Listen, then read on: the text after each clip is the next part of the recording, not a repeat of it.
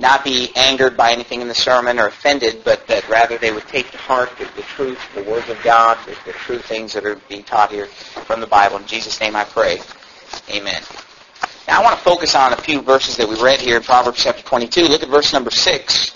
I'm going to show you about three or four verses that I want to emphasize. The Bible says in verse number 6, Train up a child in the way he should go, and when he is old, he will not depart from it. Well, isn't that a great promise from the Bible? Isn't that a great promise that God gives us when it comes to child rearing? Look at verse number 8. The Bible says, He that soweth iniquity shall reap vanity, and the rod of his anger shall fail. Look down, if you would, at verse number 15. The Bible reads, Foolishness is bound in the heart of a child, but the rod of correction will drive it far from him. So we see a lot of talk in this chapter about raising your children, training up your children, rearing your children. God says here in verse number 15 that a child is born foolish. Isn't that right? I mean, children aren't born with wisdom, knowing what is right and wrong, knowing how to act, knowing how to live. They must be trained up how they should go, or else the foolishness will rule them. Now, it says here that the rod of correction shall drive it far from him. What's it talking about? It's talking about spankings. It's talking about discipline. It's talking about uh, spanking them with a rod. But then in verse number 8, he says, the rod of his anger shall fail. You see, people who don't use a physical rod to spank their children and to raise their children, what do they use? They use the rod of anger, right? Think about kids. Think about you're out in public, right? You can tell the people who don't spank their kids because they scream at their kids, right? Parents who don't spank their kids scream at it. Hey, I'd scream at their kids too, the way they're acting. But that's often the alternative. And, and God says it's going to fail. It doesn't work. Yelling at your children is, is never taught in the Bible. It's never helpful to scream at a child. The Bible doesn't teach that anywhere. Now, this is what we're talking about this morning. And before we get into the message, let me give you one more verse. The Bible says in 1 Timothy 6.10, you don't have to turn there, but just take this to heart. Let this sink down into your ears. For the love of money is the root of all evil. Okay, now, when God makes these kind of superlative statements, He isn't just lightly throwing them out there. When God says all, he means all. And he says in the Bible here, the love of money is the root of all evil. He doesn't say money is the root of all evil. There's nothing bad about money. But he said the love of money is the root cause behind any evil in this world. You can trace it back where money, someone loving money is involved.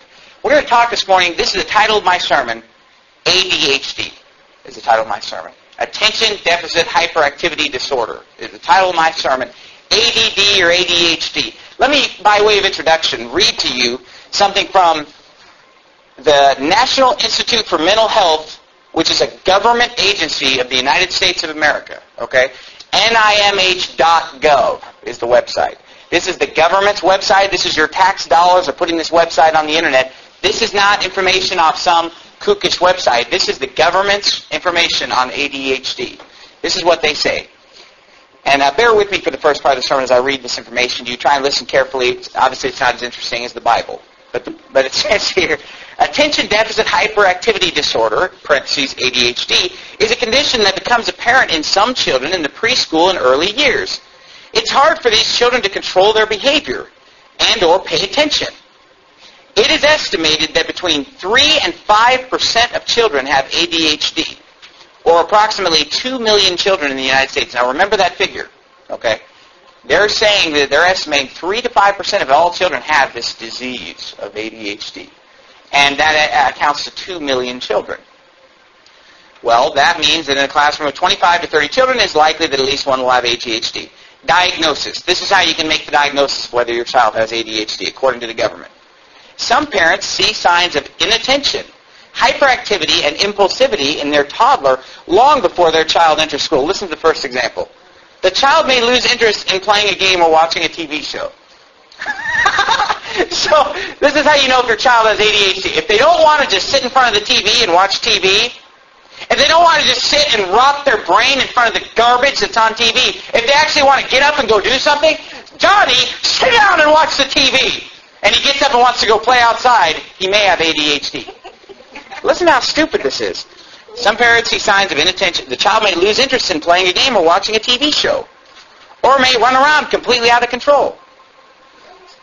Not, but because children mature at different rates and are very different in personality, temperament, and energy levels, it's useful to get an expert's opinion of whether the behavior is appropriate for the child's age. Parents can ask their child's pediatrician or a child psychologist or psychiatrist to assess whether their toddler has an attention deficit hyperactivity disorder. This is the government's website, okay? So, uh, doc, is it normal for my child to run out, around out of control? Or do they have ADHD? you know, can you imagine go to the pediatrician? Is this normal? My son runs around out of control screaming. He tears things apart. He breaks things. Is that normal? He won't watch TV. I tried to get him to watch TV. I tried to put him in front of TV. He won't watch it. Is he, is he normal? No, he's not. He has ADHD. Disorders. Here are some disorders, and this is the introduction to the sermon. Disorders that sometimes accompany ADHD. Tourette syndrome. Who's ever heard of Tourette syndrome? Put up your hand. And this is right off their website. You, you can look at this when you get home. A very small proportion of people with ADHD have a neurological disorder called Tourette syndrome. People with Tourette syndrome have various nervous tics and repetitive mannerisms, such as eye blinks, facial twitches, or grimacing. Others may clear their throat frequently. Snort. I'm sorry, I can't read this without laughing. Snort, sniff, or bark out words. These behaviors can be controlled with medication. Can you believe this? Uh, they, they bark out words, they snort, they sniff, give them drugs. Okay, listen to this. It says, while very few children have this syndrome, many of the cases of Tourette syndrome have been associated with ADHD. In such cases, both disorders often require treatment that may include medications. Now, you've heard of Tourette syndrome. You've seen people who walk down the street, and I've seen them, these uh, nonviolent offenders in Orangevale, California they would walk down the street and scream profanity. Have you ever walked in a downtown area and somebody will walk by you just barking and snorting out cuss words one after the other, just blankety blank blank? You will know that if you read the Bible as being demon possessed. People who are out of their mind, blurting out strange things and, and uh, blurting out cursing, they're demon possessed. They don't have Tourette. Tourette syndrome does not exist. It's called being demon possessed. Here's another one, and this this one cracks me up. I, forgive me for laughing. It's not funny, but it's funny that anybody actually believes this stuff. Oppositional defiant disorder. I like this one. ODD. Oppositional defiant disorder. Listen to this one.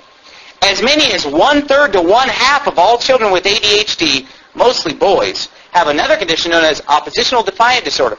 These children are often defiant, stubborn, non-compliant, have outbursts of temper, or become belligerent. They argue with adults and refuse to obey. Duh. That's every child. Uh, how about this one? Conduct disorder. This is the next one. About 20 to 40% of ADHD children may eventually develop conduct disorder, CD. That's what CD stands for. I was wondering about it. A more serious pattern of antisocial behavior. These children frequently lie or steal, fight, bully others, or get in trouble at school or with the police. They violate the basic rights of other people, are aggressive toward people and animals, destroy property, break into people's homes, commit thefts, carry or use weapons, or engage in vandalism. They're not criminals. They just have compliance disorder. They just have conduct disorder. They need drugs is what they need. Uh, it says here, these children or teens are greater risk for substance use, experimentation, and later dependence and abuse. They need immediate help. The treatment of ADHD, this is the next section in this article. And remember, this is from the government's website. The treatment of ADHD. The medications that seem to be most effective are a class of drugs known as stimulants. Following is a list of the stimulants, their trade or brand names, and their generic names. Approved age means that the drug has been tested and found safe and effective in children of that age. Adderall. Generic name, amphetamine. Three years and older. You listen to this? Concerta. Methylphenidate, six and older. Cylert, Pemoline, six and older. Dexedrine, dextroamphetamine, three and older. Dextrostat, dextroamphetamine, three and older. And I'm not going to read the whole list, very long list. Ritalin, methylphenidate, six and older. Ritalin SR, Ritalin LA, on and on. Listen to this. The U.S. Food and Drug Administration recently approved a medication for ADHD that is not a stimulant. Okay, so basically what they're saying is 99% of the drugs that they give to kids with ADHD are stimulants. This new drug, Strattera, works on the neurotransmitter norepinephrine. Listen to this. Whereas the stimulants primarily work on dopamine, Period. Now, did that word sound familiar to you, dopamine? Have you ever heard of somebody taking dope? People being a dope head? You know where that word comes from? Dopamine. Dopamine is a chemical that's released in your body. And I want, I want you to understand this. And you say, why are you preaching all this? Look, I'll get to the Bible. Hold your horses. I use more Bible than any church that I've ever been to, okay? Let me rant and rave for a little while first. The stimulants work primarily on dopamine. Dopamine is a chemical that's released in your body that goes to what's called the reward center of your brain. Okay? If you smoke marijuana, if you snort cocaine, if you take uh, morphine, if you take uh, Vicodin, if you take codeine, if you take morphine injections, if you take uh, heroin, is another extreme example of this. These go to the reward center of your brain and make you feel high. They make you feel good. That's why it's called dope. That's why people who take it are called dope heads. Okay? This is what Ritalin is working on. This is the premise that these stimulants are working on. They're going to the neurological reward center of the brain and releasing chemicals in their body exactly the same as taking street drugs. That's what it is. It's the same stuff. By their own admission. Listen to this. Off-label use. Sometimes the doctor may... Now remember, all these were, were set up to start at age 6, except a few that were age 3 and older. Ritalin starts at age 6. Sometimes the doctor may prescribe for a young child a medication that has been approved by the FDA for use in adults or children. This use of the medication is called off-label. Many of the newer medications that are proving helpful for child mental disorders are prescribed off-label because only a few of them have been systematically studied for safety and efficacy in children. Medications that have not undergone such testing are dispensed with the statement, safety and efficacy have not been established in pediatric patients. You say, what does that mean, Pastor Anderson? This is what it means. They give it to children that are under six all the time. And it's totally legal for them to give it to kids that are under six. They just have to hand them a statement that says, it's never been tested. Here you go. Even though technically it's not supposed to start till age six, they do it all the time. Let me read you one more thing before I get into the sermon. Physicians Concerned About Ritalin Being Forced on School Children by Linda Kirk, MA, LPC, BCIAC, QE. These are all her degrees. Okay, I'm not going to read all, all these letters. It's like the whole alphabet. Okay? this woman is a physician who has a lot of credibility, apparently. Dare to say no to drugs. How many times have you seen the familiar black t-shirt with the red logo on our elementary school kids? I've always smiled as I thought, I'm so glad to see that we're educating our kids about drugs at this crucial age. Now I shake my head in disbelief and wonder at the irony as I read the, re- the recent chilling report of the Journal of the American Medical Association that the use of Ritalin and other psychotropic drugs, I don't know if you know what that word means. I've studied that word psychotropic. It's, it's like LSD. It's considered a psychotropic drug. Uh, it says other psychotropic drugs has increased two to three fold in the years 1991 to 1995 among two to four year olds. Okay? The package insert for Ritalin, however, states Ritalin should not be used in children under six years old, since safety and efficacy in this age group has not been established. The JAMA article was not the first critique of Ritalin treatment for the attention deficit disorder. As early as 1973, the U.S. Congress began holding hearings on the overuse of stimulant drugs in our nation's schools. 25 years ago, there were over 200,000 children using Ritalin and other amphetamines to treat ADHD. Ironically, today in our public schools, which are being promoted as drug-free zones, many of our students are routinely being given legal, mind-altering drugs. Today's current estimates are that in excess of 6 million children are taking Ritalin on a daily basis. Did you hear that? Now remember, at the beginning of their website, how many kids did they say were estimated have ADHD? 2 million. Now on the same page, I didn't even click to a different web. This is the same page. You know, linked me over to this. Now they're saying 6 million children are taking Ritalin on a daily basis. It says here nearly 90% of all Ritalin sales worldwide are in the United States. Did you know that kids are forced on Ritalin in public school? Did, did you hear the title of the article? Physicians concerned about Ritalin being forced on school children. Can you believe that?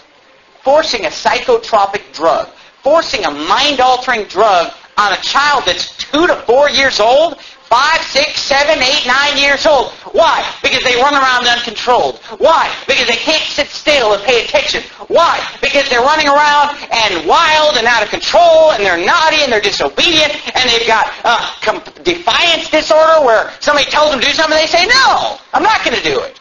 What are you going to do about it? So let's force them on dope. Let me give you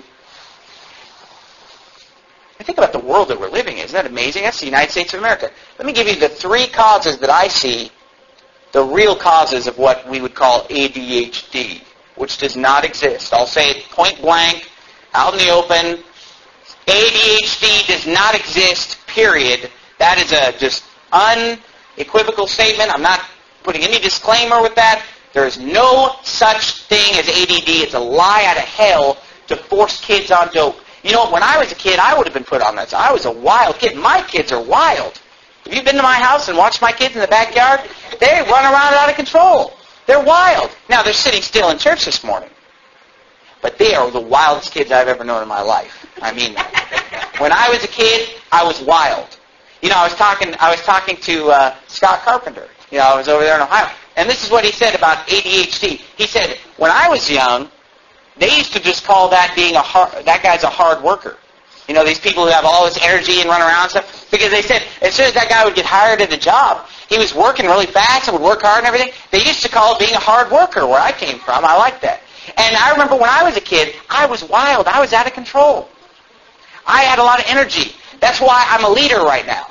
Okay? Because kids sometimes that are a little bit wild, they don't just take every brainless thing that they're taught in the public school system, uh, the public school system, I'm sorry. Uh, they don't just mindlessly receive everything that's put to them on a TV screen. They think outside the box. The government wants to dope them up so that they won't do anything, so that they'll just mindlessly fall in line and mindlessly listen to what they're being taught in that public school system. I'm going to tell you something. If there were two, before I get into the message, I'm still in the introduction. If there were two institutions that I would control in this country, if you wanted to run this country, two things you control. Is it the House of Representatives and the Senate? No. Is it the White House and the governor's mansion? No. It'd be two things. It'd be the public school system and the media. If you control the public school system and the media, you would control the minds of the United States of America. And the public school system and the media are both controlled by radical liberals and homosexuals. That's a fact. Number one cause for ADHD which doesn't exist, but what is known as ADHD, is number one, a lack of biblical discipline, which is spanking. Look in the Bible. Are you still in the book of Proverbs? Flip over, if you would, to chapter number 23. You're in chapter 22. We saw that foolishness is bound in the heart of a child. I, I think probably more than 3 to 5% kids have ADHD. I think it's probably more like 90% of kids have ADHD that I've known. Foolishness is bound in the heart of a child, period. That's what God says. But the rod of correction will drive it far from him. Well, in our day, when people are compromising the Bible, trying to pervert and change what the Bible says, I've been increasingly confronted with people who said, when the Bible talks about sparing the rod and the rod of correction, it's not talking about spanking, it's talking about the shepherd's rod. And the shepherd, he had this big cane with a little hook on the end of it, and, and he would take the sheep and pull it in the right way and lead it. And the rod was just a tool he used for leading. Well, let's see what. Let's look at a more unequivocal verse here. Uh, chapter 23, verse 13. The Bible reads, "Withhold not correction from the child, for if thou beatest him with the rod." Hey, it may, maybe it does have a hook on the end of it. I don't know. But whatever it is, pick it up and beat the child with the rod. That's what the Bible says. It says, uh, beat him with the rod, he shall not die. Look at verse 14.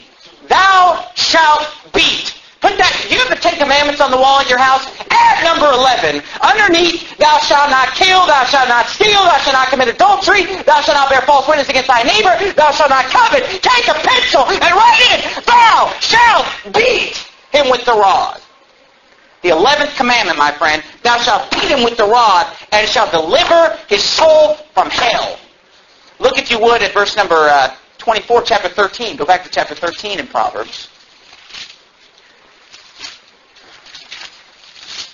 Proverbs 13:24, the Bible reads, He that spareth his rod, listen to the strong language that God uses here. Proverbs 23, I'm sorry, Proverbs 13:24. He that spareth his rod hateth his son. Did you hear that? He that spareth his rod hateth his son, but he that loveth him chasteneth him betimes. The word betimes means early. Look it up in the dictionary. Has one definition, early. He that loveth him chasteneth him betimes. You see, if you love your child, you say, spanking is abuse. God says if you love your child, you're going to beat your child. If you hate your child, you'll let them do whatever they want. If you hate your child, you'll force them on dope, is what he's saying. If you love the child, spank the child. Now, a lot of people, you say, why does God keep using the word beat? I mean, beat him with the rod? Now, uh, in 2007, when we hear the word beat, you know, we think of somebody taking their fist and bam, you know. That's not what God's saying. God's not talking about a baseball bat like we would think of a beating.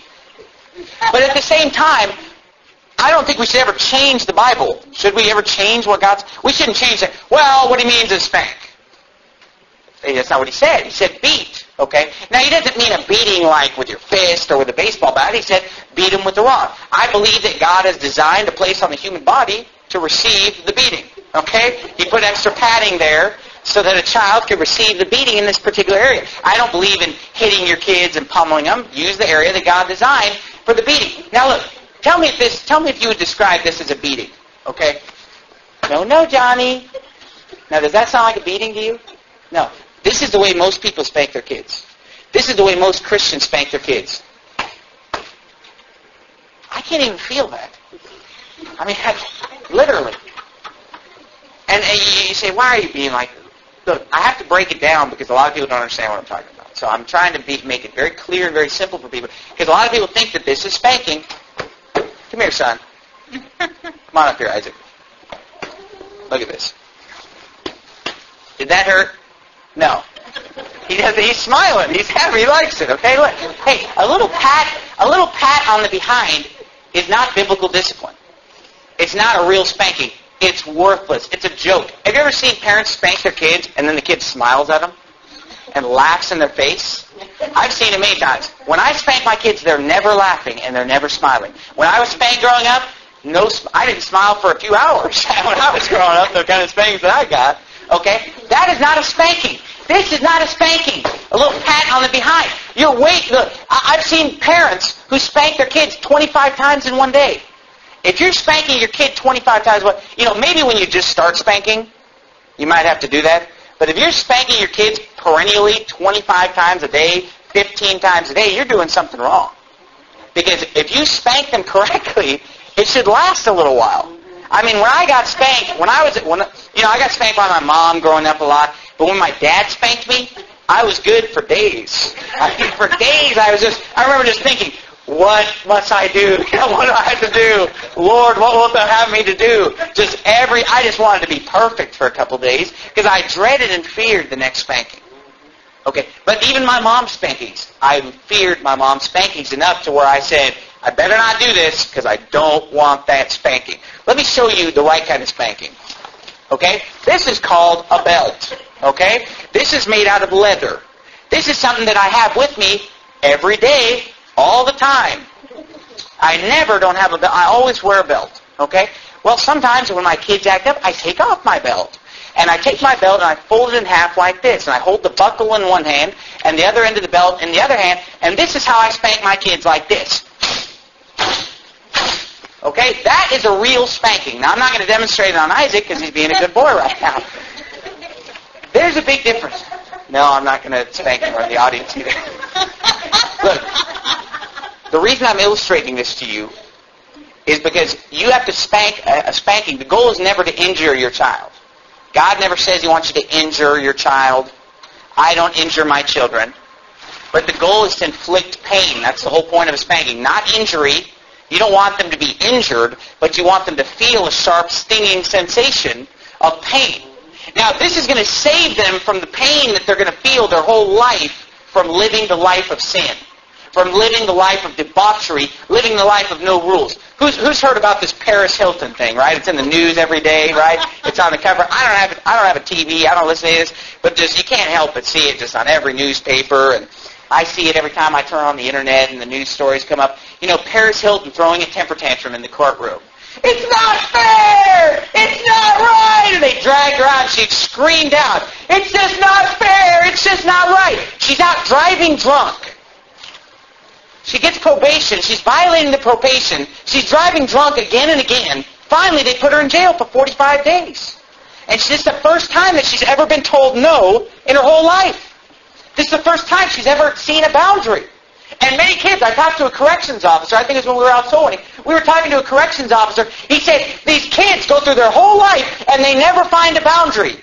Nobody ever tells them no. Nobody ever punishes them for what they've done. And the first time in their life they find a boundary is when they're 14 years old and the policeman finally shows them a boundary and says no, and they end up going to jail and actually getting some real punishment. It's the first punishment they've had in their whole life because mom and dad didn't correct them. You say it's abusive to spank your kids. Hey, it's abusive not to spank your kids because you're destroying their life. You're setting them up for a life of pain and misery and heartache. Hey, the Bible says the way of transgressors is hard. Living, uh, have you ever heard? Have you ever heard somebody say about a, a woman? They say, "Well, she looks like she's lived a hard life." You ever heard somebody make that statement? Hey, the way of transgressors is hard. The sinful, uh, ungodly lifestyle of a person who has no boundaries, no right and wrong. They've never been punished for what they've done. Hey, it's a hard life. I don't want my kids to go down that hard road. I want them to go down the life of blessing and, and life and joy and peace. So I'm going to spank them with the belt. Yes. Why? Because I wanted to grow up and love God and live a happy life. And I thank God I'm standing here. I'm 25 years old. I thank God for every time I was spanked growing up. Every time my mom and dad spanked me, I praise the Lord for it. Why? Because that was a time when they said, I love you. That's what it was. Every time my parents spanked me, I measured the love that my parents had for me by how many spankings I got growing up. That's how I measure the love. Your mom loved you a lot, didn't she? I can tell by your face. oh, some of us have been more loved than others in life. And so spanking, God says, is a sign of love. Spanking, he said, let me use a word just because I know you're going to be a pansy about it. Let me just use the word beat. Beat him with the rod. Thou shalt beat.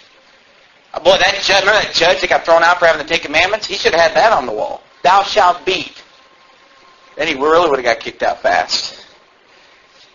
The Bible says on and on throughout the Bible, you know, he that spareth his rod hateth his son. Spare the rod, spoil the child. You've heard people say that. What's it mean to spoil? It means to ruin them, to destroy them. You know, attention deficit disorder and I, I want to tell you another thing quickly before I move on from that point. Look at chapter 22 again. And look at verse number... You know, I'm having trouble finding the verse. I'll just quote it to you. Oh, no, here it is. I'm sorry. Verse, chapter 29, verse 15. Sorry about that. Chapter 29, verse 15, the Bible says, The rod and reproof give wisdom. What's reproof? Reproof is when you say no. That's what reproof means. Reproving someone is when they do something and you say, no, you're wrong change. It says, the, the rod and reproof give wisdom, but a child left to himself bringeth his mother to shame. It's funny, my wife is from Germany. When she first came to the United States and she heard about attention deficit disorder, ADD, this is what she thought it meant. She thought it meant that the kid is not getting enough attention. You know, in reality, they mean that the kid can't pay attention. You know, he can't stay focused. He wants to run around and play like a normal kid. Uh, she thought it meant attention deficit, like he's suffering from an attention deficit. People aren't spending time with him. And people laughed at her and said, that's you're silly, that's not what it means. But really, that is what it is. You know, the parents aren't spending the time with the child. They don't, they're too lazy to take the time to discipline and beat the child. They're, they're, they're not taking the time to train up the child, to spend time with the child, to sit down and explain things to the child, to teach the child right and wrong, to bring the child to church.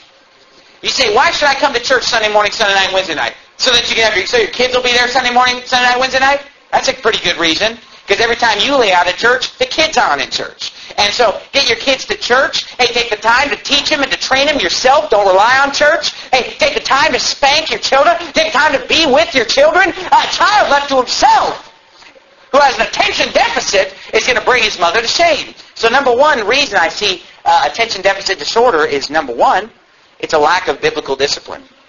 It's, it's timeouts. We never use timeouts, ever. We never ground our kids. I'm never going to ground them as teenagers. I was never grounded growing up. My parents never grounded me. All the other kids around us were getting grounded. Never got grounded one time. I didn't even know what it meant to be grounded. I mean, I, it never happened. There was just always a spanking. It was always God's method of discipline in my house when I was growing up. That's the way it is in my house. No timeouts, no groundation, biblical discipline. Spankings, spank them, and then you know what? I don't bring it up to them. I don't say, I'm mad at you. I don't get angry. I don't yell at them. I just spank them, and five seconds later, I'm smiling and everything's fine. And we can move on. That's Bible discipline. Take care of the problem and be done with it. Don't hold a grudge. Don't yell. Don't be angry. But just deal with the problem, discipline them, move on. But number two, here's the number, the number two reason why attention deficit disorder affects so many children. Number one was lack of biblical discipline. Number two, overstimulation by television, movies, video games, rock music, flashing images, etc. That's part of the problem. You wonder why kids can't sit still in church. You wonder why kids can't sit still in front of a book. You wonder why kids can't behave and listen in school. You wonder why kids run around and act like a monster and act like an animal. I'll tell you why. Because they're constantly overstimulated by all the flashing images. Have you ever turned on one of these uh, child cartoon stations? It's unbelievable. The flashing images changing every two or three seconds. All the bright colors, all the loud noises, and everything is just loud, loud, loud, loud. You say, stop it, you're annoying me. Hey, uh, it's annoying, these shows. That's, exa- that's what I'm talking about. Here, let me demonstrate overstimulation. Let me overstimulate you. Ah, ah, ah, You want to listen to that all day? That's what their music's like. That's what their TV is like. Hey, I only expect you to listen to screaming three times a week for an hour. Hey, they listen to it all day long.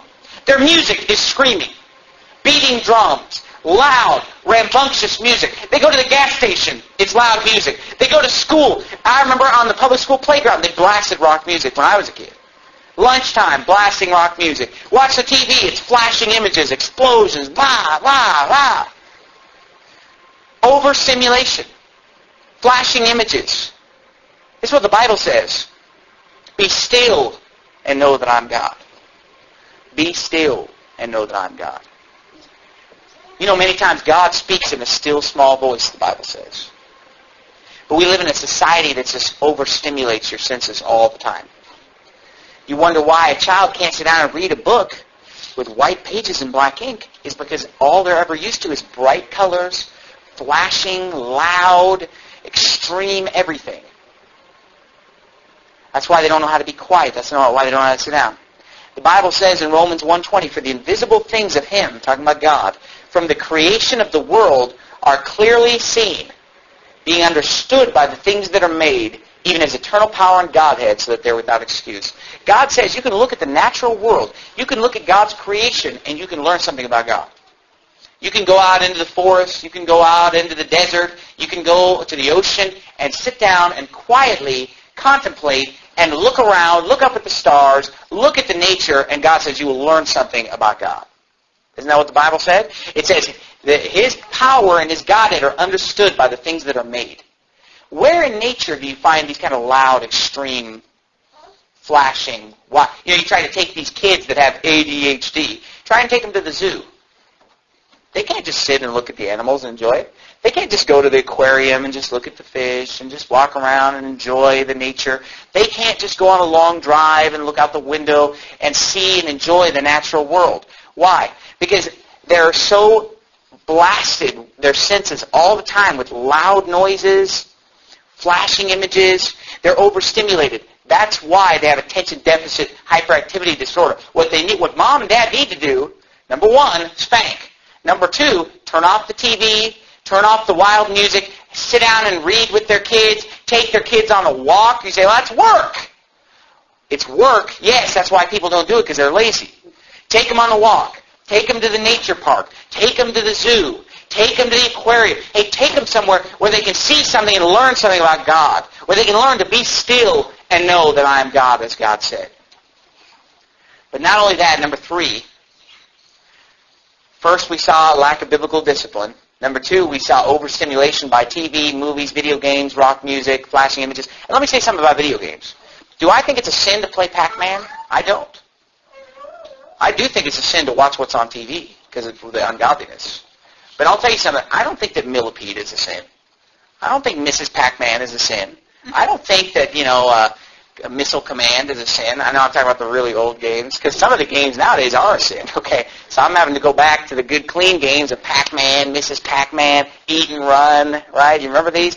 Millipede, Centipede, Missile Command. Uh, come on, pole position. Right? Come on. Does anybody know what I'm talking about? You know, you're just driving on the road and stuff like that.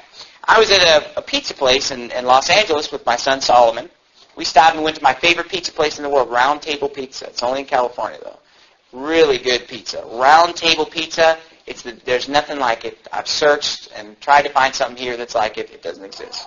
There's one in Arizona. It's in Yuma. Okay, it's the only Round Table in Arizona of all places. Well, we sat down at Round Table Pizza. We ate some pizza together, and it was just me and Solomon. And I looked over, and there were video games. And one of the video games was pole position. No, nothing bad. I mean, it's just a road and a car and drive. And I thought to myself, you know, maybe I'll just let Solomon. He would really enjoy sitting down and playing some pole position. You know, I grew up playing it, but you know, I didn't have him play it. Now, would it be a sin to play pole position? No. Would I have liked to go over and sit down and play pole position? I could have played it for hours. Okay, I, I used to love video games growing up.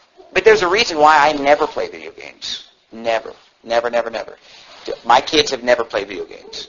There's a reason why. Because I'm just trying to teach them not to just sit down and stare at a screen all day and boom, boom, boom, boom, boom, boom, boom. Because video games are too fun. They're too fun. They suck you in, and you waste your life in front of a computer screen. And I don't want my kids to get all overstimulated where everything is about racing a car all the time, uh, blowing things up all the time, just wild, flashing, loud images. I'm trying to teach them to understand that you don't have to have all that to have fun. My kids know how to have fun by playing outside, by running around, by swinging on the swing set, by looking at nature, by doing things that are productive and right and clean. I don't want to even introduce them into the world of video games. Not everything has to be just, well, is it a sin or not? Is it wrong or not? I don't go through life wondering whether things are a sin or not. I don't sit there and ask myself before I do something, hmm, is this a sin or technically am I allowed to do this? No. I go through my life trying to be the best that I can be. Not trying to be as close to the line of what's wrong. I try to go through life saying, what would be the best thing for me to do right now? Not what clothing can I wear that's not wrong, that's not a sin. I, I think, what's the best possible clothing that I could wear right now? What's the best activity I could do with my son? Not just what's not a sin, not what would God approve of, but what would God think is the greatest thing for me to do. That's the way you got to go through life. And so, just because it's not a sin doesn't mean that I want to do it. Paul said, all things are lawful unto me, but not all things are expedient. All things are lawful unto me, but all things edify not. And so that's why I just wanted to bring that up about overstimulation. Part of the reason why my kids can sit still and behave is because I don't let them watch all this loud, boisterous stuff, all the flashing and rah, rah, rah all the time. I teach them to enjoy things that are a little more normal than that. But number three, I think that the problem with why we have so much ADHD is that church and school programs cater to a short attention span. They've thrown up their hands, the school, the church has thrown up their hands and said, well, and I've heard it said, I heard it in Bible college, I heard it in churches my whole life, well, these kids, I mean, they watch the TV all day, they listen to rock music all day, that's what we're competing with, so we got to be just as wild, just as loud, just as flashy for these kids because that's what we're competing with. And so you get on the bus and it's just, ah, you know, the music don't sing the old hymns in the junior church. What do they do? They sing the wild, loud, somewhere in outer space, God has prepared a place for them who trust Him and obey. False doctrine, by the way. Trust Him and obey or believe on Jesus Christ. Uh, Jesus will come again, and though we don't know when, the countdown's getting lower every day. Ten and nine, eight and seven. You say, is that a bad song? I'm not saying that these kid songs are necessarily bad songs. But what we've done in our churches is we've catered, we've dumbed down the service for kids. My kids are right now in an adult preaching service, right? They're sitting in the front row. They're listening to every word I'm saying. I'll guarantee you they are learning a lot more than if they were in some little kids class somewhere. You say, why don't you have Sunday school class for kids? Is it because you're too small? Because we don't have the laborers, we don't have the workers to do it? That's not why. We will never have Sunday school classes for kids in this church. You say, oh, we will never have Sunday school classes for kids in this church. Our kids will always be listening to preaching by a preacher, adult, uh, preaching by a man who's preaching like a preacher, not some little dumbed down Sunday school class. Now, don't don't get offended with what I'm going to say right now. But the Bible says, train up a child in the way he should go, and when he's old, he'll not depart from it. Let me illustrate something to you, and I, I don't want you to take this the wrong way when I explain this to you. I'm not saying that the Sunday school classes are bad, or that the kids' songs are bad, or that the, the junior church is bad and horrible. But let me just illustrate to you something. I just want to open your mind to something. Can you just think about this if I put this out there for you? But you know, in the 1960s, when we had the children's Sunday school big movement, and all these big Sunday school programs came out back in the 1960s. All the children who went to those classes, they didn't get preaching like you're getting right now. This preaching is not geared toward children, is it? Are any of my messages geared toward children? No, I mean, it's just Bible preaching. I mean, a child could definitely profit from the things I'm preaching. But it's just Bible preaching. Is the music program here at Faithful Word Baptist Church geared toward children? No, it's the hymns out of the hymn book. But when you have, in the 1960s, you have all these uh, children's churches and junior churches and Sunday school and take the kids out of the service, put the babies in the nursery, put the kids in the children's class. Well, what do you have? A bunch of wild music like I brought out. Well, what do they what do those kids now that they're adults, what do they want? What does that generation want? They grew up in the 1960s. Well, what does 99% of churches in America in 2007 have? Wild, loud, flashing music. Isn't that the truth? Go to the average Baptist church. Go to the average community church. It's all the loud, radical music. The music at the liberal church is more similar to what was going on in the Sunday school 40 years ago than it was to what was going on in the adult service 40 years ago when they were singing the same songs that we sung this morning. Think about the short sermon. In the kids' classes, they always had a shorter sermon. And I know what I'm talking about because before I started this church, you know what I was doing uh, two months before I started this church? I was teaching a class of kids ages 7 through 10 for three years straight every Sunday. Inner city kids from the worst ghetto in America, the murder capital of America, Chicago.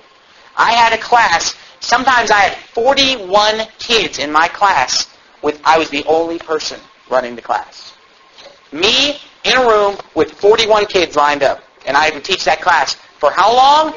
Two hours. I had to teach these kids for. Because that's how long the Sunday school and the adult service was. I had them for the whole time.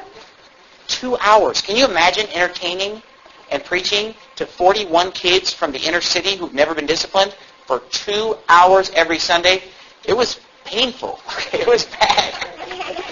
Now I got I got very good at it. Okay, I had to get good at it. My life depended on it. Okay, I had to survive. And usually I averaged about 20 kids in the class. 41 is, was the highest. We had that twice. Usually I had about 20 kids in the class, truth be told. It was about 20. Sometimes as low as maybe like 10 or 12, as high as 40, but it, right about 20 was pretty consistent with that. And so I, know, I understand these things. I know what's going on. And people say, you got to preach a short little sermon because you're going to lose their interest fast. So what do they do? They go to a Sunday school program where they have loud, wild music a short sermon, 15 minutes, 20 minutes.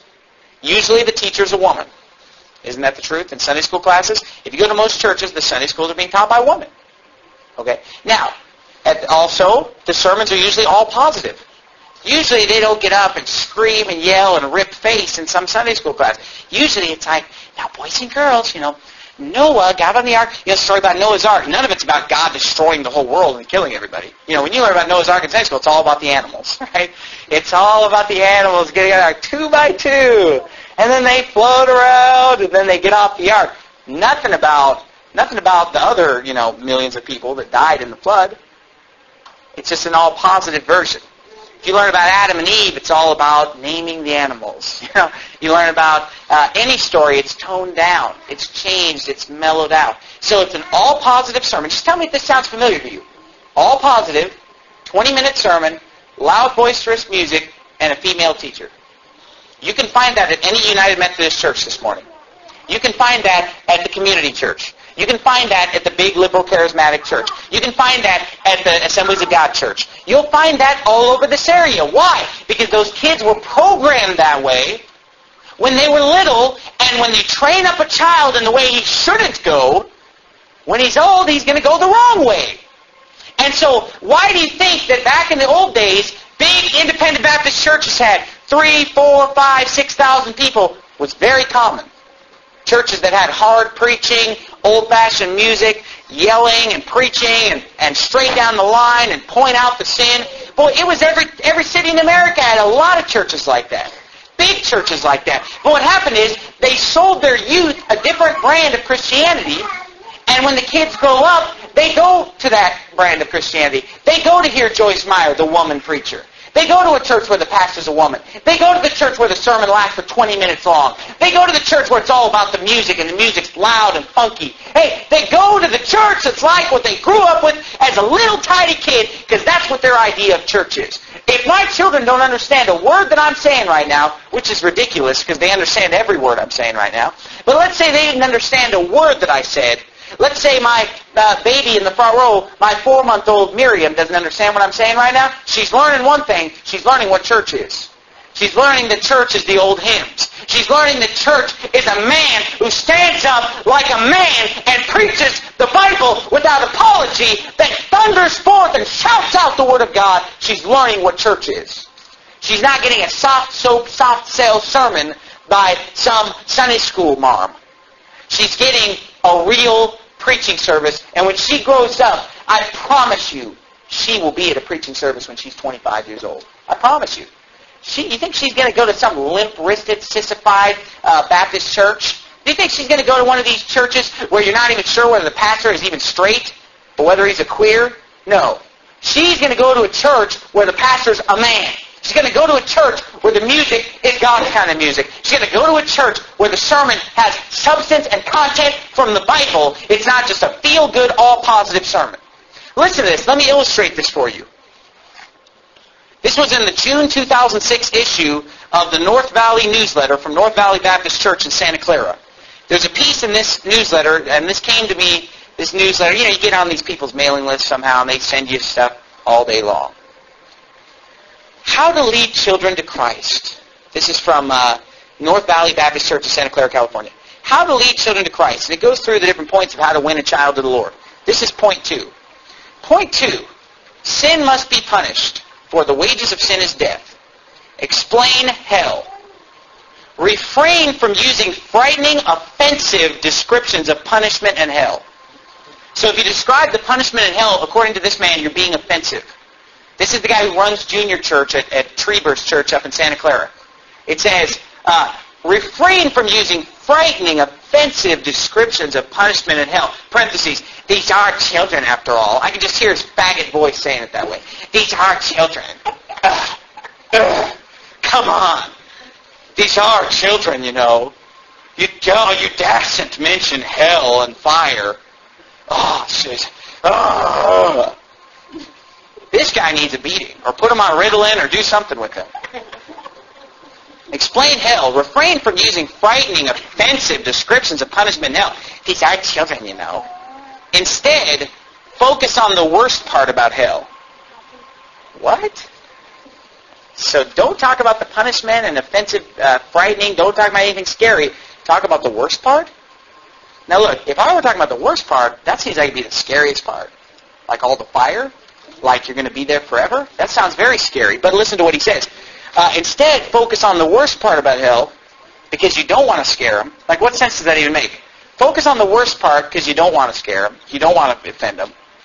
And he says, focus on the worst part about hell, being separated from God. I mean, come on. The Bible says that, that God's in hell. That's what the Bible says. If I make my bed in hell, behold, thou art there. It says they'll be punished with everlasting destruction from the presence of the Lord and from the glory of his power. It says that they shall be tormented day and night with fire and brimstone in the presence of the holy angels and in the presence of the Lamb. Clear violation of Bible teaching to even teach that hell is separation from God when Jesus Christ is the one punishing you in hell. He's the one who made the place. He's the one who's there tormenting. Focus on the worst part. So don't talk about anything offensive about it like Jesus did. You dasn't talk about like the Bible did about the screaming, the gnashing of teeth, the fire and brimstone, and the pain and torment and destruction. Just focus on the worst part. Uh, separation from God. This is what I'm talking about. You think the kids who grow up in in uh, in uh, Sunday school teacher sodomites class, you think that they're going to grow up and you think that they're going to go to a hellfire breathing damnation Baptist church? No, they're not. They're going to go to some sis. And some of you don't like the way that I'm preaching right now. You belong at Sissified Baptist Church down the street. You belong at Queer Little Sissy Baptist Church. This is a Baptist church. We're going to hear the Bible preach. You say, I don't appreciate the way you call names. Hey, I don't appreciate the way that our country's going to hell. I don't appreciate the fact that six million kids are on dope right now. Huh? That makes me mad. Doesn't that make you mad? Huh? Does it make you mad to know that forced on drugs in our public schools right now? Because that makes me mad.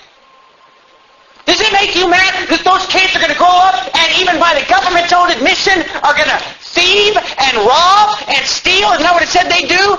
Remember, they've got CD and ODD. They're going to steal. They're going to break into your house. They're going to hurt your family. They're going to break your things. They're going to lie to you. They're going to do everything to hurt you and destroy America, destroy your family, destroy churches. They're already doing it. Wake up and smell the coffee.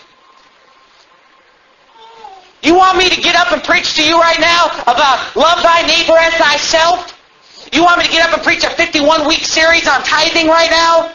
When our country is being destroyed around us? When our youth is being forced on dope and nobody cares? When 3,000 babies are being aborted every day, nobody cares? When I can't go to a gas station without some filthy sodomite, flaming queer, standing behind me in line like happened to me yesterday at the gas station, wiggling his stupid little booty in the gas station, huh? and nobody says a word to him. Nobody has the guts to say anything to him. You know what? I say something to him when I'm in public. And you know what? If everybody did, they'd be back in the closet. If everybody treated him like I treat him, they'd be back in the closet, my friend.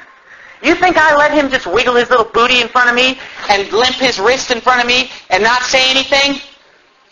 No, that's what you do. That's what the United States does, and that's why they're taking over the airwaves. That's why they've already taken over the public school.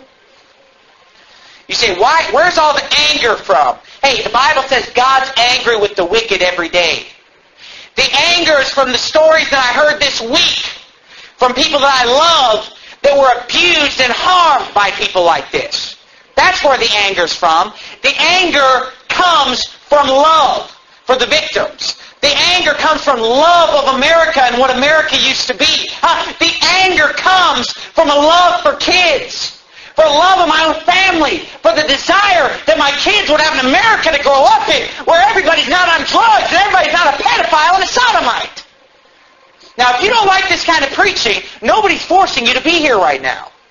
You can just uh, scoot your little uh, booty out of this church and go to that queer little sissy church and sit next to him. But I'm going to tell you something. This church isn't changing. People try to change this church. People try to intimidate me and tell me what they don't like about this church. Tell me what you don't like about this church all day long. This church is going to be the lone voice in the wilderness, the voice crying in the wilderness that will cry out against the queers in this country. Yes, it will. That will cry out against the dope dealing in this country by the federal government and by the public school system and by the pharmaceutical companies. Yes, it will. I'm not going to turn a blind eye and watch my country go down to hell without a fight. And so that's where the anger comes from. My anger is directed toward the independent Baptist who won't stand up and tell somebody, not even to preach like I'm preaching, but good night, can he at least preach about hell?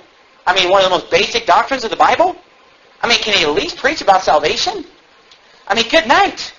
Can he at least teach kids the real songs out of the hymn book? Instead of his little dumbed down, sugar-coated little service? And so I'm going to tell you something. The reason why ADD runs rampant is because, number one, no biblical discipline of children. Number two, it's because of all the flashing, wild images. It's because of all the overstimulation 24 hours a day, watching the television, playing the video games, looking at the bright, colorful magazine. And number three, it's because of a school system and a, uh, churches who dumb down their service for little kids. They make a special service where they segregate people by age, and they put this little kid over here. He never hears real preaching. He never hears the Bible thundered from the pulpit. And all he ever hears is some soft-coated little uh, sugar stick message for 15 minutes, and then it's treat time. When I taught those kids up in Chicago, you know what I did? I preached to them like I'm preaching right now. I preached the Bible. I preached like a man. I didn't just get the flannel graph and show a little story. I got up and screamed and yelled and preached to those kids. And they got the message, and I guarantee you they'll remember the things that they were taught in that class for the rest of their life. And when they grow up to look for a church someday, they'll look for a church where they're actually learning the Bible and hearing the truth preached. Now you say, why do you preach? Why do you preach like this, Pastor? And several reasons. Number one, I want my kids to hear the preaching that I'm preaching right now. You say, well, I don't like this kind of preaching. Well, they like it, and they're going to grow up and believe what's right. Number two, the reason I preach this way is to keep the freaks and weirdos out of this church. Anybody's welcome in this church. I want everybody to be here. But you know what? When you preach hard on sin, all the freaks and weirdos leave. We had a guy call us yesterday. There's a guy who's called us like eight times. And he pretends to be asking about our church. He always starts with the same statement. Oh, well, hi, what time are your Sunday services? Well, I figured out he was a little weird because first he's calling on the church number, then he's calling on the home number. How did he even get my home number, right? He's calling on the home number. Hi, what time are your Sunday services? It's like, well, if you know my home phone number, you probably know what time the service starts since it hasn't changed in the last year and a half. And this guy, you know what he, you know what he keeps asking? So, do you guys have a lot of, I have kids, you know, do you have a lot of kids in your church? For my kids to play with? How old are they? He asks questions about how old the kids are, how many kids there are. Why? Because he's a pervert. Because he's a pedophile. That's why. I wish you would have been here last Sunday night. You could have heard me preach about that. Maybe if you were here on Wednesday night, you probably heard me preach about it. About what the Bible teaches. I went through every verse of the book of Jude and 2 Peter chapter 2 and I went through biblically and showed you the danger of pedophiles that are out there after your kids. So he's a pedophile. He's calling up. Why? Because he wants to come here. If he were here this morning, he'd never come back. Praise God from whom all blessings flow. Praise him, ye creatures here below. You say, don't you want everybody to come to church? No. I don't want the freaks and weirdos to come to this church. Did you know that there was a gay guy in our service the first Sunday night that I ever held, December 25th, 2005? And I preached, and I yelled about the sodomites and the queers, and he went, oh, So you know what I did? I said the exact same thing again. And then he went like this. The whole rest of the service. Did he come back? Nope. And my kids are safe. My kids will never be defiled by his filthy hands. Why? Because we, we run them off with the truth. We run them off with Bible preaching. And so uh, we nipped it in the bud right there. I called a friend of mine from Bible college, and he asked, how'd your first day go? How'd your first Sunday go? I said, boy, it went great. We had all these visitors Sunday morning, all these visitors Sunday night. And I said, hey, I learned something. He said, what'd you learn? I learned that you have to preach on the queers every single service, at least once, for even if it's just for 10 seconds. Because that keeps it clean. That cleans it, that cleans house. It keeps them out. Because I said I already ran one out on my first Sunday. And you know what? I'll be running about 20 years from now. You're not going to change me. Nobody's going to change me. Nobody's going to change this church. If you like this church, hey, you're in luck because it's not going to change. If you don't like it, go choose from all the other compromisers and sissies and wimps out there. And the wimps are the reason why the country's in the state it's in right now. Because nobody will stand up to people. I stand up to them in public. I stand up to them in the gas station. I stand up to them in the post office, right, Isaac? He can tell the story about that. hey, I stand up to them. I don't let these queers push me around. It's time for America to push back. It's time for Bible-believing Christians to start pushing back when they get pushed. I don't walk around with my tail between my legs when they're out with their big T-shirt and their gay pride. And I saw a lesbian in the gas station the other day that said, "We are everywhere," and it had a rainbow symbol. We are everywhere. Boy, they're yelling it from the mountaintops. They got the stickers all over their car. They'll make sure that you can tell within five seconds of listening to them talk that they're a homo because they've laid on so thick because they're taking over America. And you think I'm nuts right now? You think I'm a fanatic right now? Come see me in five years. We'll see who's nuts. It won't. That's all it's going to take. Come see me in five years. Sit down with me and say, "Did you think I was a fanatic? Uh, you still think I'm a fanatic?" Now that you see the country in the condition it's in right now, you know, when when our president's going to be some lesbian, you know, a couple years from now probably. When, when when's it going to be too far is what I'm wondering. I'm wondering when people are going to just say enough in this country. It's too far. If they're not doing it when they're killing the unborn at 3,000 a day, if they're not doing it when the homos are just rampant, if they're not doing it now, when are they going to do it? They're never going to do it. I'm going to do it. I'm ready to stand up and fight this thing because I love kids, because I love my family, because I love my country.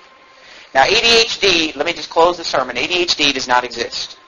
What exists in this country is a lack of spanking, a lack of loving parents who love their kids enough to discipline them and teach them what's right and spend time with them and give them the attention that they need. What's lacking is uh, legitimate entertainment in this country that doesn't involve things exploding and people being killed and dying every five seconds. What lacks is legitimate entertainment like going for a walk, playing basketball, sitting down and playing a board game, uh, going outside and riding your bike, swinging on the swings. And what's lacking is a church service that says, suffer the little children to come unto me, for of such are the kingdom of God. Look, a church that won't put up with a kid crying, my kids act up occasionally in the service. Other people's kids act up sometimes in the service. That doesn't bother me at all. Kids are welcome in this church because they need the preaching more than anybody. They need what's being preached. They need real preaching. Uh, not just, oh, okay, well, you can take this class and teach them. You've been in church for two weeks, go teach them. You're a woman, you're not even a preacher, go ahead and teach them anyway. No. They deserve to hear a man of God who knows the Bible preach the Word of God, just like everybody else should be hearing it. They should be hearing it. If you don't agree with that, you're entitled to your opinion.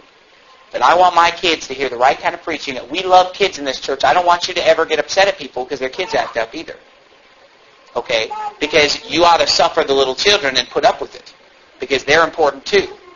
And I taught my children. To, I, I've helped other people that have come to this church and their kids acted up a little bit. I took them aside sometimes and would help teach them. Never criticize. I, I taught them and said, "This is. Let me help you. This is how I taught my kids to sit still in church. Get this how I did it. I sit them down. I line them up and I read them the Bible. My wife sits them down, lines them up, and reads them through the Bible a half hour. And they're, excuse me, they're not allowed to move. You know, they're not allowed to talk. They're not allowed to get up. This is training them for church. Monday, Tuesday, Wednesday, Thursday, Friday, Saturday, we sit our kids down, line them up in a row, and read them the Bible for an hour, for 45 minutes, for 30 minutes, whatever the case may be. We have the belt right there. We have the cooking spoon right there. We have the, the rod right there. Do they act up? Yes. The second they act up, they get a spanking. Pretty soon they learn that they have to sit still and listen. Now they're to the point where we can go a whole time without any spankings. They'll all just sit there. They're listening to the Bible. You're reading the Bible. That's great for you too, doing the reading, because you're getting the Bible too. They're getting the Bible, and they're learning how to behave in church. I've told that to people, and their kids' behavior in church started to improve because they put that into practice at home.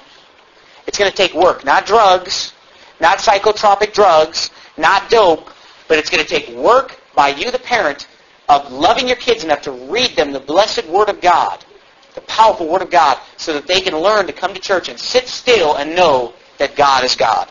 Be still and know that I'm God. So that they can sit in church and listen to the still small voice of God through the Word of God being preached. So let's bow our heads and have a word of prayer. Father, I thank you so much for Faithful Word Baptist Church. I'm glad. I don't know about the people that are here. I don't know about everybody feels, but I just praise the Lord that there's a church, Faithful Word Baptist Church, that doesn't pander, doesn't pander to the fundamental popes and liberals, doesn't fa- doesn't pander to the queers, doesn't pander to to the federal government and their ADD uh, demonic drug program that they're cramming down the throats of six million kids with Ritalin alone, let alone the other 12 uh, drugs that were listed there. God help us in this country, Father. Please help the Christians in America to wake up. Help us not to have fellowship with the unfruitful works of darkness, but rather reprove them. And God, help us not to be naive about what's going on. There's real dangers out there. Help us to stand strong on the Bible, stand firm on what we believe, and thunder forth. Not be afraid of some child protective service worker to where we're afraid to, to spank our kids or preach spanking. When they come to, the, to, to my door, God, I'm going to tell them to go to hell. And so, Father, I just pray that you would give everyone in this church the boldness to stand up for what's right, spank and discipline their children according to the Scriptures, not abusively, but lovingly, in the padded place that God has provided. Please just help us to love our kids enough to put everything else aside and say, Kids are number one in Faithful Word Baptist Church. Kids are number one in our three services. Kids are number one in our homes and with our time, God. We love you.